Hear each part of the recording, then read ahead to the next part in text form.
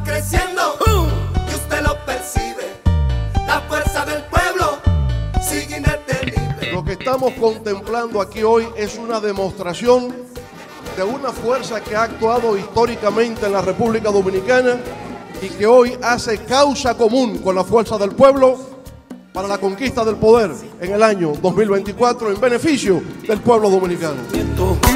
Que el pueblo nos dio con ese crecimiento que el pueblo nos dio, esto va creciendo.